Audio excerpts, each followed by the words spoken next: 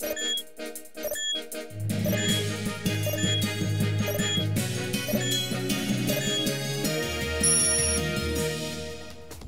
México también es medallista en matemáticas. Los hermanos Olga de 14 años y Adán Medrano Martín del Campo de 16 son un orgullo tapatío al ganar las medallas de competencias nacionales e internacionales en matemáticas. Sus logros más recientes fueron la medalla de plata en la Olimpiada Internacional de Matemáticas que obtuvo Adán y la medalla de bronce que ganó Olga en la competencia internacional de este año en Taiwán.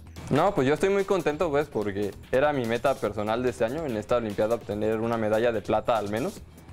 Y también estoy muy contento porque es una muestra de que realmente sí se está haciendo trabajo bien en México. Pues los maestros sí han sido un gran apoyo. Para mí, pues eh, te intentan explicar las cosas y pues se convierten como en tus compañeros.